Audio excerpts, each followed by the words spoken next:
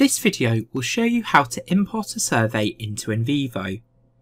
It's first important that you set your data up correctly, and if you need help doing this, the previous video shows you how to do this. When importing your data into NVivo, the first step is to make sure you have the file closed in Excel. As you've seen in the previous video, we had to slightly edit the file and so had Excel open. If I now try to import it into NVivo won't be able to edit the file because Excel is still using it, so make sure you close Excel first. With Excel closed, I'm now able to start.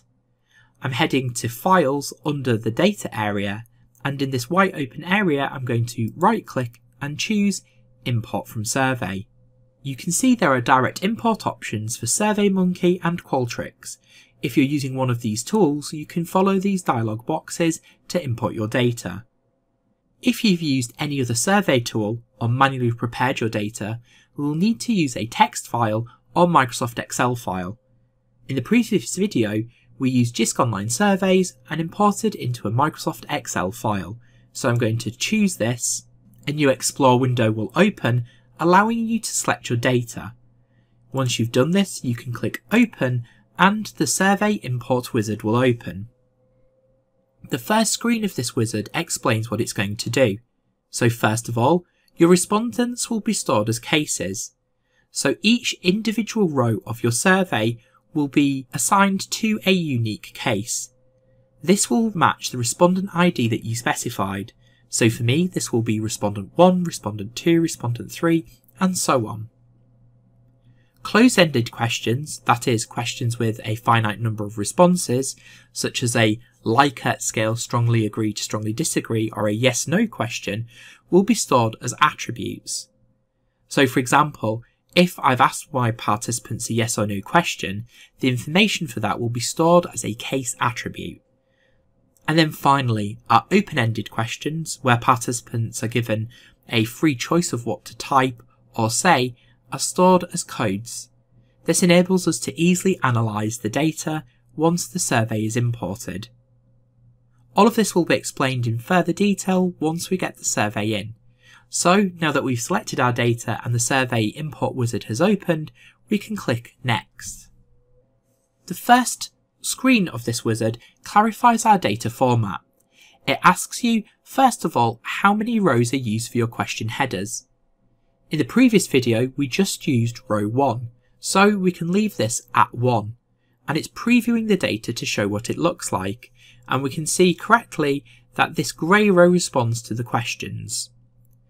If you have any dates in your question, you can also specify the date order here. As we've got more complicated dates here, this doesn't apply for this particular data. I can now click Next. The next screen of this Survey Import Wizard asks us to manage your survey respondents. The first question asks where you'd like to store your cases. You will notice the wizard will automatically create a new folder that corresponds to your survey file name. For me, this is a little bit messy, so I'm going to choose change location. I can then click on cases and choose create folder. I'm going to call this folder survey respondents.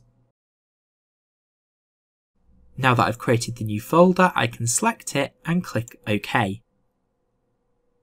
The next question is select a unique ID for each of your cases. As you'll recall in the previous video, I created a new column called respondent and then labelled each of my cases slash respondents down as respondent 1, 2, 3, 4 and so on. For this reason, I can leave this at the pre-selected value of respondent. While it will let me select another value, it's generally easier to keep this as the first column in your data. Finally, this page notes that cases will be grouped together in a classification, and that new classification can be named here. I'm happy to leave this at survey respondent, so I'm going to click next.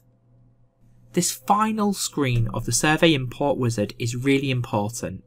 It asks us to identify open-ended and closed-ended questions. You have to get this right at the survey import stage, otherwise the only way to correct this is to re-import your survey. This is because of how the data is stored and it's not possible to edit it afterwards, so take your time here and get this right. NVivo will look at your data and try to determine which questions are open and which are closed. I can see, however, there are some errors in its interpretation. For example, looking down my list of questions, I can see that question 4a is specified as a closed-ended question. However, this is an open question. Participants were asked if you specified other, please specify, and given a box to type in. So, for this particular question, I need to switch it from closed-ended to open-ended. I can also see a later question if you selected other, please specify, again has been marked as closed and needs to be switched to open-ended. At this point, you can also edit any of these questions if you want to. You could maybe condense the titles or renumber them if that helps. Because I've used JISC Online Surveys, I can see I've got this letter A in at this level that's not required, so I'm going to remove this to tidy my data. Now that I've tweaked my questions, I'm ready to click Finish, and this will start processing everything we've specified in the survey import wizard. So first it brings the data in. It creates cases for each of the survey respondents. It will then create case attributes for the close-ended questions and create codes for the open-ended questions. I'm going to click close and you'll see under files my survey is now in there and has now opened ready for me to analyse and view. The next video will explain in much more detail what the Survey Import Wizard has done.